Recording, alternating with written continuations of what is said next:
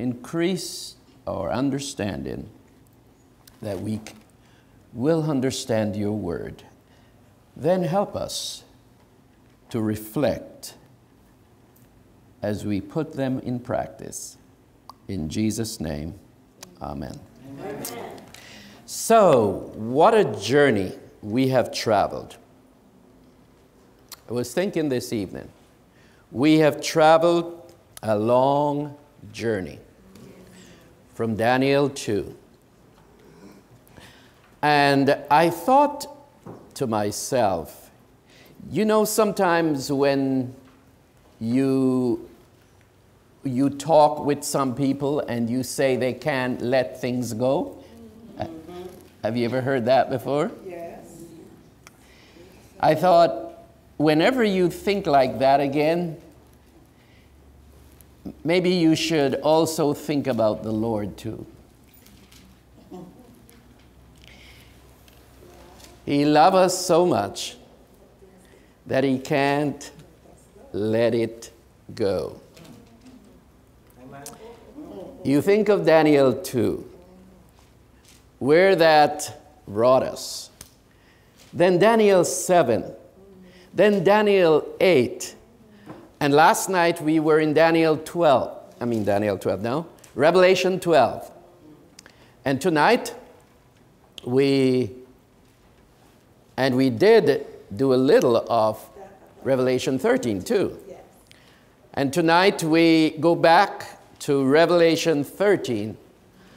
And here we find that God is still talking about the same thing. And I can't help but think that it is so important that He wants us to not to forget it. And it reminds me some so much about the Sabbath commandment. You know, when the Bible says, remember the Sabbath day to keep it holy, of all the commandments, that was the only one he used the word remember. And I see the same thing happening here with this piece of prophecy. And uh, when you understand what is about to break on the world, then you are not alarmed at all as to why is it that the Lord spends so much time on this with Daniel and now with John. Because it is going to be important. Some will walk away from the Lord in this crisis because things will get so difficult that they are in the place where they must decide who they will serve God or man. By the way, if you understand the situation that Daniel was in and his companions, you will realize it is the same thing. In fact, they, you remember after having that dream and uh, all that explanation, the head of gold and the silver and the brass and the iron, what did Nebuchadnezzar do? He built one, but his was what? All gold. And notice what he did. He made a command, a decree, that when you hear the music, you should bow down and worship. This is all about worship. It's all about worship. And uh, that happened in the plain of Dura. Well, history will repeat itself because the very thing that happened in the plain of Dura will take place one last time just before Jesus' return. And this is known as a national Sunday law. That is going to be the image that will stand in the modern day plain of Dura. No wonder, no wonder God is making sure that we understand what this is all about. No wonder in uh, chapter 7, the fourth beast was so undescribable. No wonder the words that God used, words like what? Dreadful. Dreadful, terrible, exceedingly strong. And we looked, uh, I think it last night, we, we looked at some other words. And tonight, I think we're going to see some other words. And I told you, I say I shiver to even use the words. But the only reason I can use them boldly, it is because they are not my words. I am not describing this. God is describing it. I'm only his servant telling you what he says as Daniel, as John. And so I want you to always be aware of that. And if God can use those language to describe this power, then for me that's okay. Because you know what? He's boss. Yes. And he knows what the right words that should be used. So tonight, we want to make another step. What did John see next? Remember where we left off last night. What did he see next? Revelation 13. And we're reading verses 3 to 9. And I saw one of his head as it was wounded to death. Now, you know this is a classroom, and every now and then I have to test you. I have to test you to see if you're tracking, to see if you're in context with the verse, if you, under, if you remember what came before. So, what is this talking about? John is seeing his head. His who? The beast. The beast. Which one?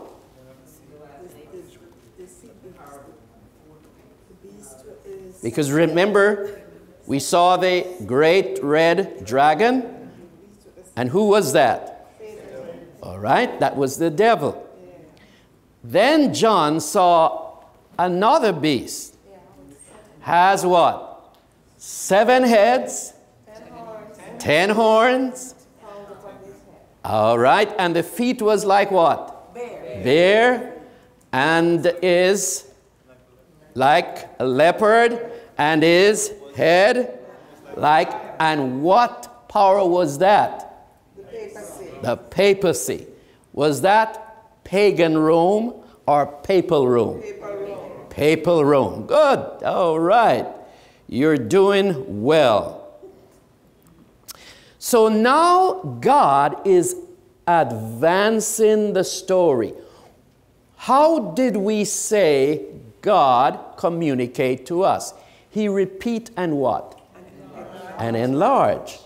So if you notice that even though theologically it was there in Daniel 2, in Daniel 7, in Daniel 8, but the language is different and the language used makes it clearer to us.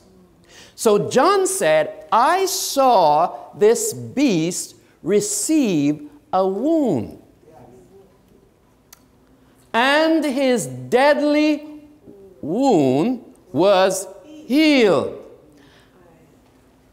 What happened after it was healed? The Bible says, all the world wondered after the beast. Allow that to settle in. Now, somebody told me last night, the person said, Now, when I read the book of Revelation, it is clear to me. And I, and I hope that's what's happening to you. Because I want you to be able to take the book up and you read it and you understand it. Thus, you understand what God wants you to understand so you can share with your neighbors because you have a responsibility. The Bible said there was a wound. Now, we touch that. Let me see if you can put the cap on. What was this wound? Right.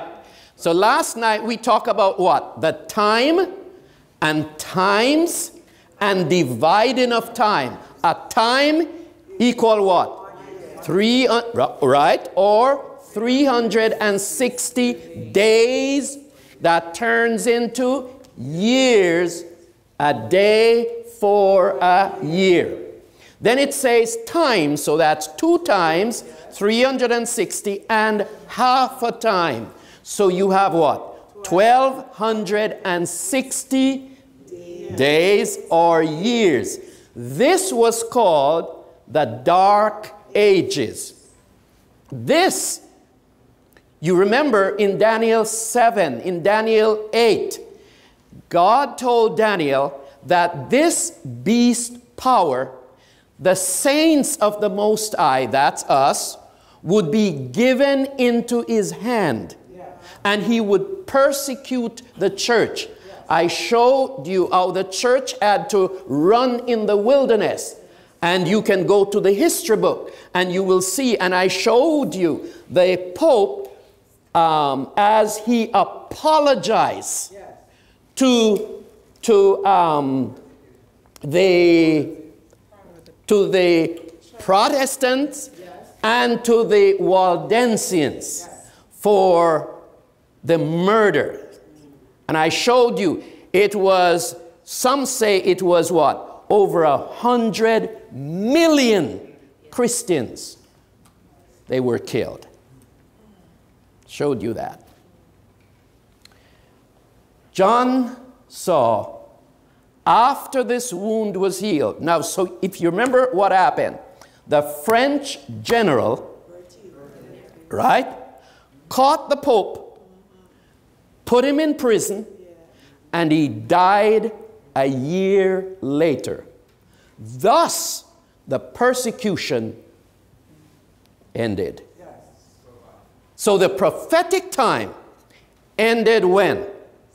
1798 AD. Now that was to commence a new era because God had promised Daniel in chapter 12, he said, Seal the book, Daniel.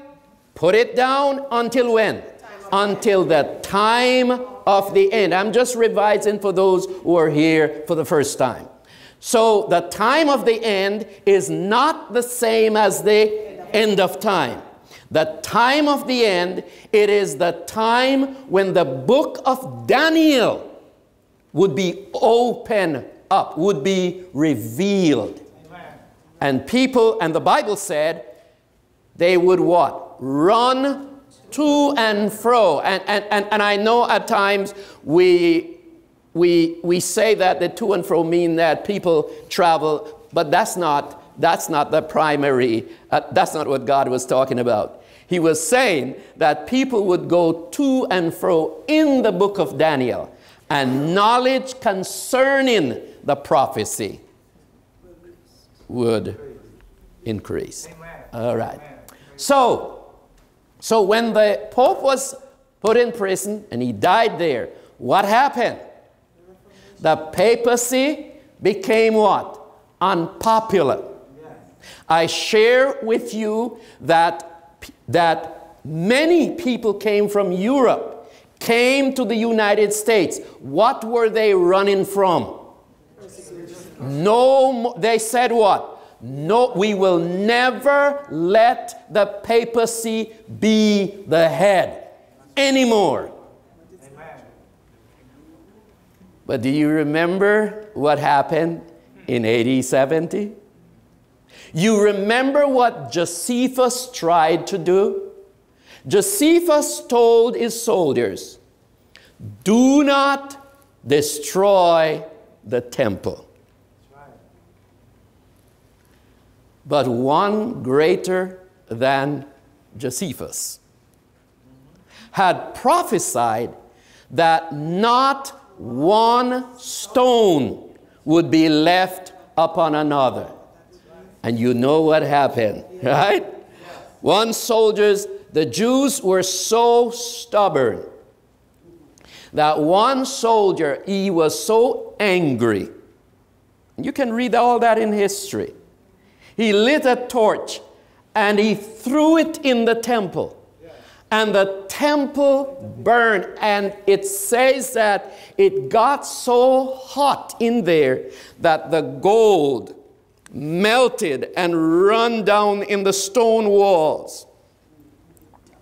And to get the gold, the people dug up those stones. Thus, the words of Jesus was fulfilled. Not one stone would be left upon another. Well, here again, you have it again. And for me, it is a clear warning. I told you when God said that dog would lick the blood of Jezebel as at, by the wall, as great as Jezebel and her husband Ahab were, they couldn't stop it. And the lesson for you and I in 2018 is that when God speak, listen to him. Amen. It is said, because you remember Jesus had said, when you see the Roman army surround the city, it is time for you to go. Yes. And you remember what happened? Yeah. Can read it in history. The Roman army came and they surrounded the city. And for it seemed like for no reason, they picked up and they left. But what had happened? What had happened? Because some people don't know what had happened. There was a reason why they left. The general that came the first time as they were camping there in Jerusalem, message came to him that his father died. And he wanted to be the next emperor. And so he packed up and went back home. That's why. You see again? You can't stop what God is doing. So he went back and he became the emperor and sent his son Titus. Hmm. Okay. You cannot fight against God. He says in his word, all the world would wander after the beast. You saw the last time when Pope Francis came to the United States. You saw what happened. You saw the admiration. It's not by chance. If you think it's by chance, wake up. It's not by chance. This is the fulfillment of the Word of God. Amen. And what you saw happen there, again, the healing of this as the wound is healed. When you saw, when you, in your living room, wherever you were, and you saw Pope Francis standing in Congress, in the people's house, speaking, if you understood prophecy, you would spiritually tremble. Do you know that millions of people in this country didn't even know what that meant? Didn't even know what it meant. Isn't that something? You're talking about prophecy? Right. Didn't even know that that marked that marked a period in the healing of the wound. And now she feels her strength and she's making her move. Well, it's in your Bible. After it was healed, all the world wonder. And the Greek word means to admire. Admiration. Now, Americans will travel to Rome to what? Just to see the Pope come out. And all the world wondered, admire the beast. Well, verse 4. And what do they do? And they worship. You see, it's all about worship. Yes. You see, admiration is a part of what? Worship. worship. And they worship, they, ooh, I tell you, I, I, I'm, I kind of shiver when, when I teach this. Come on, tell me what that's saying. It's not worship the dragon, the dragon is Satan. Oh, Lord. You see why I can't say it? Yeah. I really do hate saying it. Uh, how would we get to that place? We're in a place where you have so many people with PhDs and other of the Ds, masters, bachelors. How would, how would there exist such darkness that we would do that? But again, God spoke. and because he can what? Foresee. He knows what's going to happen. And he's telling us what's going to happen. So they worship who? The dragon who gave power. I showed you last night. I showed you last night. The dragon gave what? His power, his authority, and his seat to the beast. So Satan is the one behind pulling the string. But what is so interesting is that even when this worship is taking place, the people don't know who they're worshiping. They actually think they're worshiping God.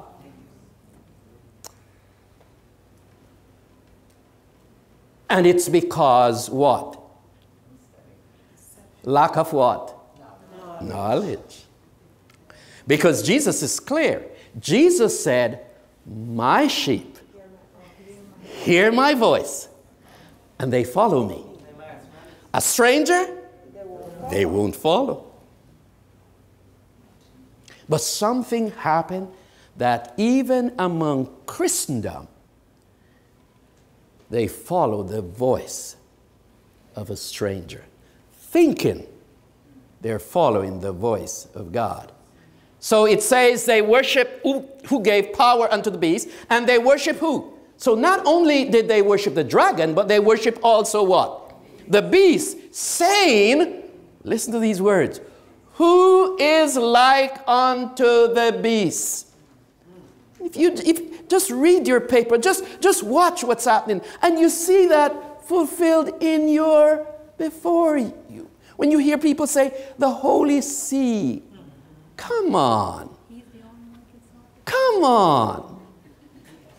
Come on. He just went to um, this place here, and, and they want him gone. I mean, they want him to resign. But it's presented as what? A God sent outfit. And the people believe it. So you hear the people say, the vicar of Christ. Wow! What stout? Did you hear the word I use? Yes. Isn't that the scripture? Yes. The Bible say that this power would speak what? Stout words, blasphemous words. It's there in your scripture. So it says they worship who is like unto the beast, and who is able to make war with him. Verse 5 And there was given unto him a mouth what? Speaking great. You see the same thing coming from Daniel? Speaking blasphemous, and power was what? Given unto him to continue 42 months. So watch what happened now. In Revelation, instead of saying time, times, dividing of times, it says what? 42 months. How much is 42 months? 1260 days. Yay! 1260 years. Same thing, same message. But like I tell you, even though God repeated about five, six times, He changes the stories so we don't get bored. we read the same story, same message, but we're not bored because He gives it. So this, this beast power, and I prove it to you, no shadow of the doubt who this power is. And history helped us. The only power in the world that has killed millions, and they admit it, praise God. But God told us it was going to happen. Verse 6 And he opened his mouth in blasphemy against God and to blaspheme his name and his tabernacle and them that dwell in heaven. We talk about that. I showed you the confessional, right? The Bible says Jesus is the sin pardoner, the sin pardoning redeemer. When you sin, the only person you ask forgiveness to is Jesus, not a priest. But the Bible said that this power would take the place of Jesus. Thus, you have the confessional, where people they commit adultery. So just before they go to mass, they go to the confessional. Father, I have sinned. Speak what? Blasphemous. You can't forgive sin. Only Jesus can. But again, we knew it was going to happen because your Bible tell you so.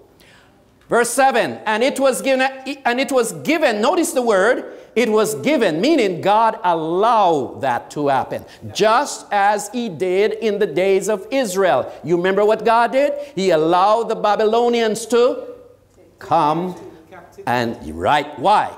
Because they were rebellious.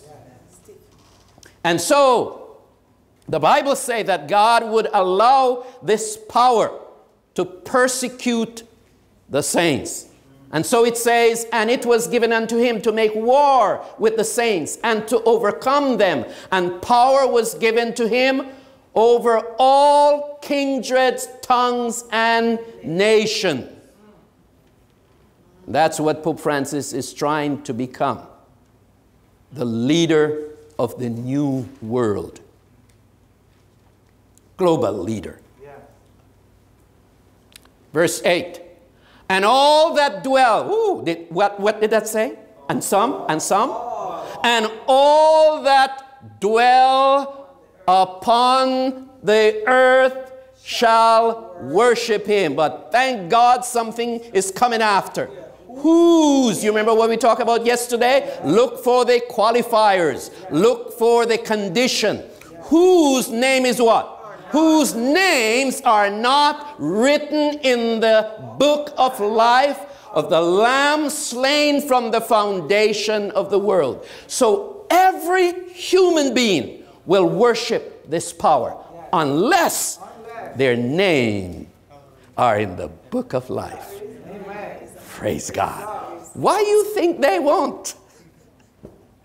Like Daniel, huh? Like Daniel, Shadrach, Meshach, and Abednego, they stand for God. And there is something that is so sweet about those boys.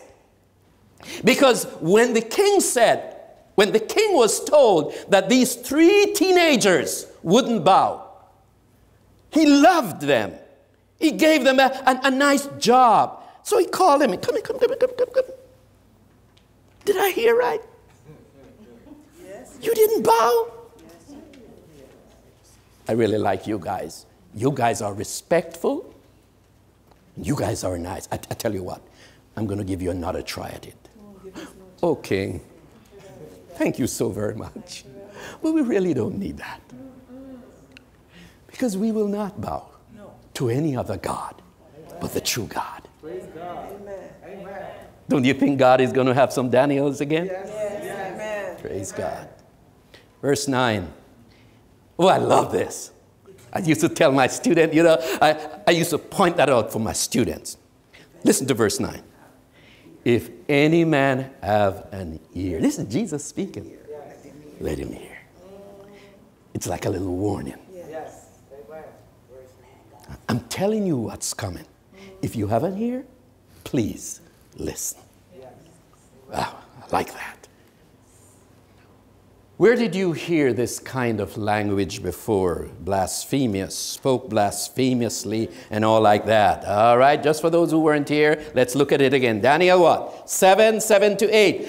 After this, I saw in the night vision, and behold, four beasts, dreadful and what? Terrible and exceedingly strong. And it had what? Great iron teeth. It devoured and brake in pieces and stamped the residue with its feet, and, uh, with the feet of it, and it was diverse from all the beasts that were before it and it had ten horns. I considered the ten horns, and behold, there came up among them another little horn, before whom there were three of the first horns plucked up by the roots, and behold, in this horn were eyes like the eyes of a man, and a mouth speaking great things. Now, for those who weren't here last night, you want to tell them about those three that were plucked up. Yeah. Tell them the name now. Give me the first one. Huh? The Heruli, yes. The Vandals and the Ostrogoths. All right? So that those ten horns, they represented what? Ten kingdoms. Three were rooted up, and we went into the history as to what happened. And then came up what? A little horn speaking boastful words. And so that's the same thing he's talking about in Revelation. All right. Where did you hear this kind of language before? You remember? Daniel 8. Let's read that one too. And out of one of them came what? Forth a little horn, which waxed exceeding great toward the south. And we looked at that. We looked at the map, you remember? And we saw where he's going. It moved to the south towards the east and towards the pleasant land. And it waxed great, even to the host of heaven, and it cast down some of the hosts. You see, same persecution. And of the stars to the ground, and stamped upon them. Yea, he magnify himself, even to who? The prince, that's who? Jesus. All right, you are with me. The prince of the host, and by him the daily sacrifice was taken away, and the place of the sanctuary was cast down. By him the daily sacrifice. What is this sacrifice that Jesus is doing for us. That the priest would do each day before the day of atonement. It would be, it would be sanctuary service. And Rome replaced that with what? The confessional. Right? So the Bible told us that it was going to happen. So let's go back to what it said earlier now. It says, John said, I saw this beast receive a wound, a deadly wound. All right. Yes. So, what is meant by receiving a deadly wound? Revelation 13:10. He that leadeth into captivity shall what? Go into captivity himself. Ah. Isn't that powerful? So here, the church was butchering God's people. Yeah. And what happened to him? The French general caught him, put him in prison, and he died there. He that leadeth into captivity shall go into captivity. Don't fight against God. Don't fight against him. He that what? Killeth with the sword must be killed with the sword. That's why Jesus told Peter, put up your sword. Put up your sword. Here is the patience and the faith of the saints. How was the deadly wound prophecy fulfilled? Well, you remember that man there? Yes. Pope Pius the Sixth. Pope Pius the Sixth condemned the French Revolution and the suppression of the Gallican church that resulted from it.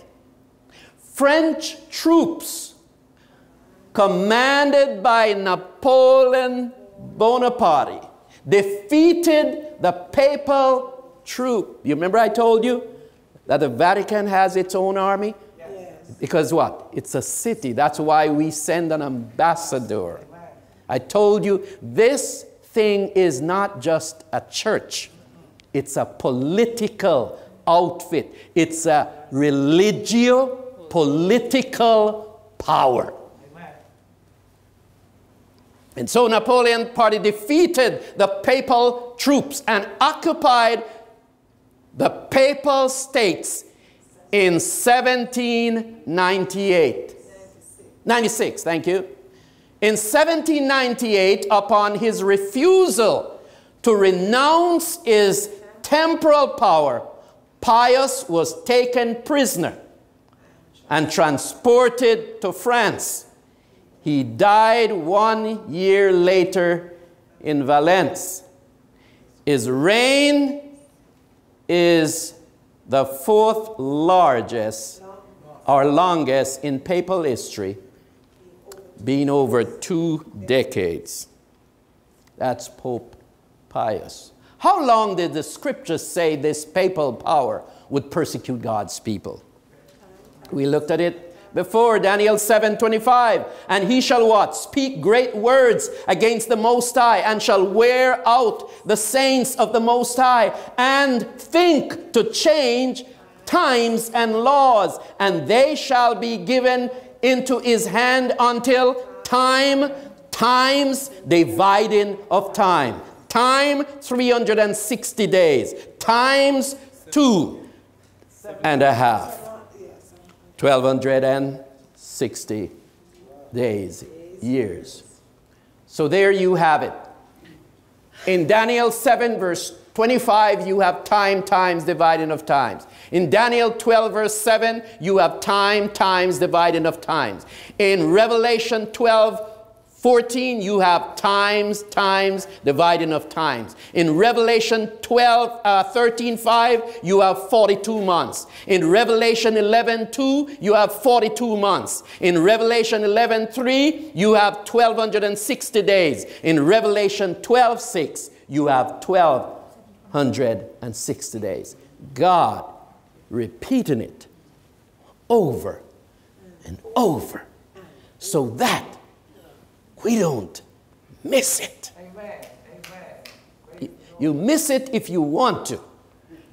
And so that's how we come up with 1260 days. So the prophetic time started in 538 AD and it went all the way to 1798. The prophetic time ran out.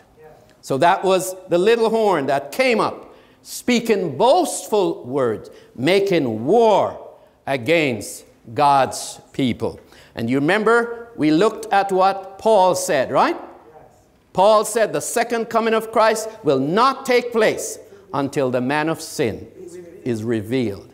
That's what we have been doing these two weeks, making sure you understand before time runs out. Remember what I told you prophecy is made clear through the eyes of history.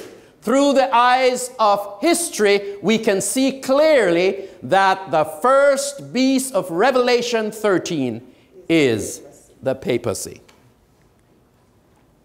John 14, verse 29, what did Jesus say?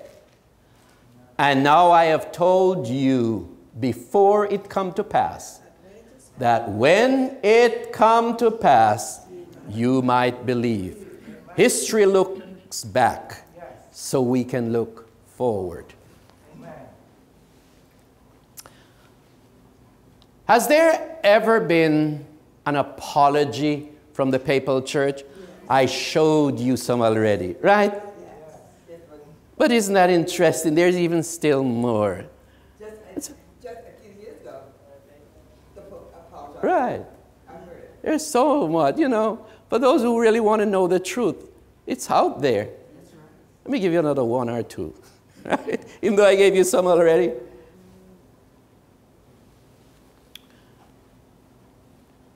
Pope Francis asked Waldensian Christians to forgive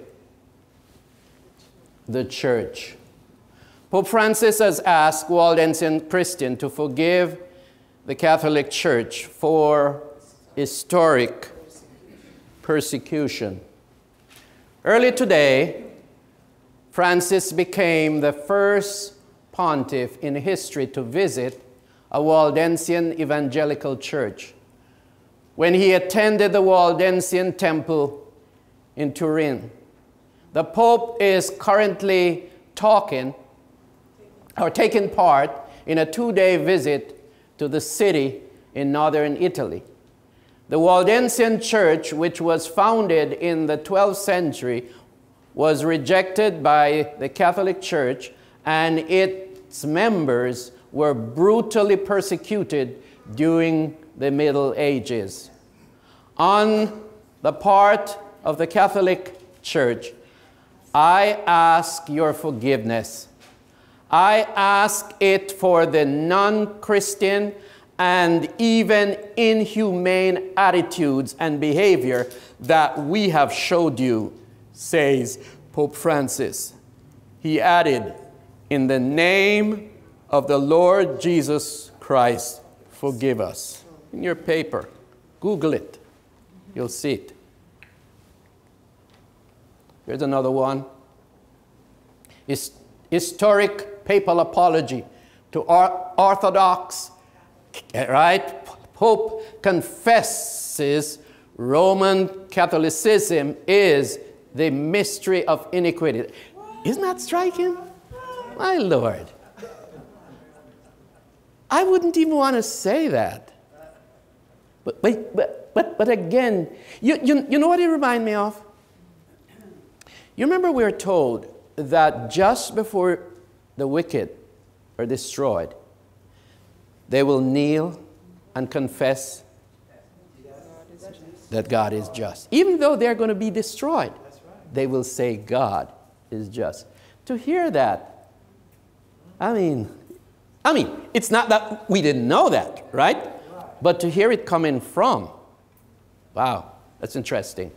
Clearly, there is a need for a liberating process of the purification of memory. That, that's he's speaking.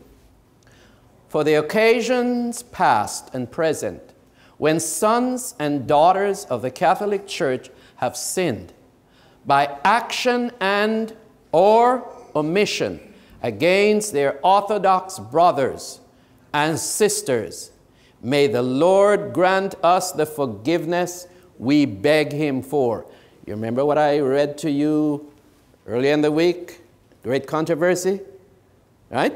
We're told that all these apology would come, but she hasn't changed. Good. Okay. Here's another one. Pope asks forgiveness for errors of the church over 2,000 years saying, We humbly ask forgiveness. John Paul II today delivered the most sweeping papal apology ever, repenting for the errors of the church over the last 2,000 years. We cannot not recognize the betrayal of the gospel committed by some of our brothers, especially in the second millennium. The Pope dressed in purple Ah, you're alive. You know you're alive. As, let's see if you would react to that. You did. All right. So the Pope dressed in what? Purple robes for Lent said in his homily, recognizing the deviations of the past serves to reawaken our conscience to the compromise of the present. Even though this beast lost one of its head, what was to happen concerning the restoration of the beast? The deadly wound would be healed. She would be strong again. And she would go back to her old tricks. Remember we read last night? She would what? Use peace as a deception. That's right. Right. Revelation 13:3 And I saw one of his head as it was wounded to death, and his deadly wound was healed, and all the world admired the beast. What was John shown next? What was John shown next? Hmm. Uh, that's where we're going to end tonight and allow you to steam over it until tomorrow night. I think we have just a few more slides and, and, uh, and let you go home and sleep on this. Yes, a, a lot of time, but I'm going to let you out soon. So, what was John shown next? Revelation 13, 11 to 13. I read. And I beheld another beast coming out of the earth. Now, let's, let's go back. The beast before this beast, where did it come from? From the sea. What does sea mean in prophecy? And, and, thank you. But this beast is not coming out of a greatly populated area. This beast is coming out of a sparsely populated, sparsely populated area. And he had what? Two horns like a lamb. Pause. There is no one who understands the significance of a lamb as God. Amen. That's true. Yes. Jesus Christ is the Lamb of God Behold the Lamb of God, which taketh away the sins of the world. Why did God use that? What does horn mean in prophecy? Power, Power right? Leadership. So, what God was telling John is that this new beast, he's going to exercise spiritual leadership. In other words, he's going to act religious. Or like a lamb, the Lamb of God. So let's read on. But he speak like a dragon. So it's a front, right? Yes. It's a front. Act like it's religious, but when it open its mouth, it speaks like a dragon. Like the drop. Do you begin to hear the dragon sound? Here comes another beast. But this time it comes out of the earth. Now, if the sea means areas where there are lots of people, earth would mean where there was not many people. Did a few power arise near the close of the 12 I mean, sorry, did a new power arise near the close of the 1260 years around 1798? Yes. In areas where there was not many people? Yes. You know, when I look at this, I, I just, I just say, you know, how God is so sweet.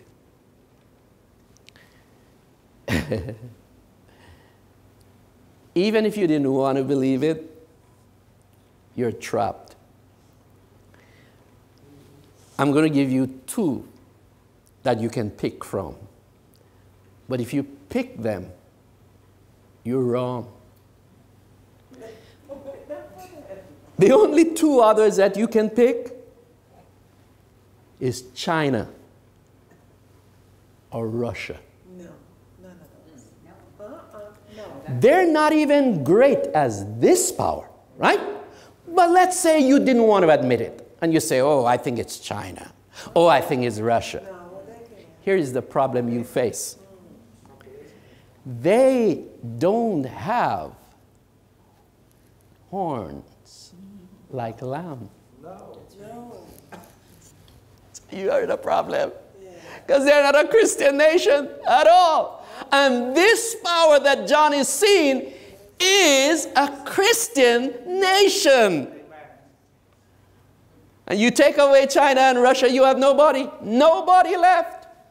Only one power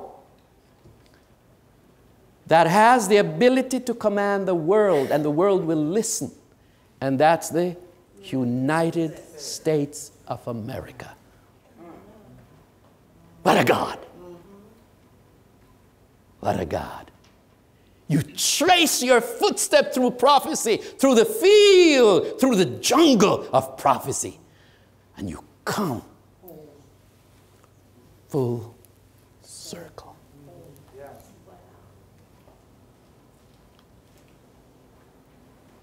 Right as this, right as this dark age was closing, a new power was marching on. Don't you understand? That's why on the 4th of July we celebrate what? Independent. 17 when? Seventeen. Thank you. Thank you. Thank you. That prophetic time ended when? 1798. And as it was ending, this new power, world power, was coming on the scene. John saw it. Every 4th of July, if people were studying the Bible, it would speak to them because they would look on the year and they would look in Bible prophecy and say, wow, God showed that this was going to come on.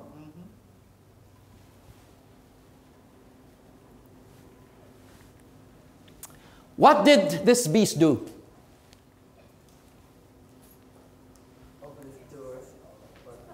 Revelation 12, Revelation 13 12. and he exercises all the power of the first beast. Now, what was the first beast? Right, that lion head, seven heads, right, right. Now, interestingly, the Bible said that this last power would exercise the power of the first beast. I told you something earlier on. I said that when you sat in your living room and you saw Pope Francis standing in Congress, you should be shaken if you understood prophecy. Because you see, that was preparing its way for that. Finally, finally. Do you know what that means theologically? For the papacy to stand in the free world, in the people's house? My people are destroyed for lack of knowledge. All those so called great statesmen, they sat there and they didn't even know what it meant. Yes, man. Yes, man. Bible prophecy. Yes, sir. And he exercises all the power of what? The first beast before him. And he caused, oh, oh, look at that word. He caused, he caused only one nation on this globe that has the power to cause That's right. Amen. other nation to worship this beast. Now, you remember I told you early in the week that though proph- prophetically you look at the papacy, but the papacy isn't going to do the dirty work. America. The papacy is going to use Protestant America to do the dirty work while the Pope looks clean. Yes. He exercised what? All the power of the first beast. So for you to understand that, you have to go back and look on the power of the first beast. Well, this last beast exercised that, and he caused the earth and them that dwell therein to worship. I told you, it's all about worship. It's all about worship. You know, a few years ago, you say this and people laugh at you. You don't have to be afraid to say it now. There is going to be a national Sunday law in this country. Yes. Yes. Don't have to believe me tonight. But when you see it, you'll remember. And let me tell you what date it was. It, it, it was what? September 2, 2018. And you were at the Farmville Seventh day Adventist Church when you heard that. There will be a national Sunday law in this land where people will be forced. And you see how he's presenting it? He's telling the people we need, we need a Sunday worship for the family. right? Deception. Deception. It's a false Sabbath. It's the image in the plain of Dura. So when we talk about the mark of the beast, you, you know, you, you hear all kind of ideas out there. Pe- pe- people don't understand what they're talking about. Oh, oh, I don't want a social security because that's the mark of it. Nonsense. That's nonsense. And Satan laughs when people talk like that. Because what? He moved them from the real truth. This mark of the beast is no mark that is going to be on your hand or your forehead. It is talking about your thinking here, the decisions you're going to make here that is going to affect what you do, your work. It's a decision, it's a worship. God has a Sabbath, Satan has a Sabbath. And the beast has always set out to set up a Sabbath apart from God's Sabbath. And she boasts about it. And some of you may have read it, where she offered what? A thousand dollars. Yes, she did. That if you can show in this book, she said, if you can show in this book where God has changed the day from Saturday to Sunday, you will receive a thousand dollars.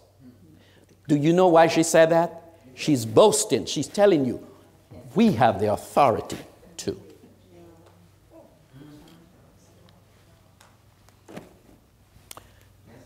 So it says, What? And them that dwell on the earth to worship the beast, whose deadly wound. In other words, she come back to life. Yeah. Which beast was before him? Revelation 13:1. That's the beast. That's the beast. So this new beast point the world to the papacy. Build an image to the beast. For this new beast to cause the earth and the people of the earth to worship the first beast, which is identified as the papacy, the new beast has to be a very powerful nation. Seeing that beast represents what? Nation and kingdom. Again, we will look at history and see if any such powerful nation came up around that time. Look at how trustworthy worthy the word of God is. Look how trustworthy. The bitter persecution started around 538 AD, and it was to go on for 1260 years, which takes us to 1798 AD. The papacy received a wound when the Pope was put in prison, where he died a year later. That stopped the persecution. Just around that time, a new nation came on the scene. Which was it? The United States emerged from the 13 British colonies established along the East Coast. Numerous disputes between what? Great Britain and the colonies following the French and Indian War led by the American Revolution, which began when? In 1775 and the subsequent declaration of independence in 1776. Just when that prophetic time was ending, coming on the scene was the new nation. New nation. And so Nebuchadnezzar, John the Revelator, this is the only nation that came up between what? 1700 and two, 2018 that has become the most powerful nation on earth. Just as God showed Nebuchadnezzar the rise of the Medes and Persians, the Greeks, and the Roman Empire, so he has shown John the rising of the last powerful nation before the return of Christ, the United States of America. This is the only nation today that has the power to influence all the nations of the world. So prophecy started with the most powerful nation on earth, Babylon, and it will end with the most powerful nation on earth, the United States of America.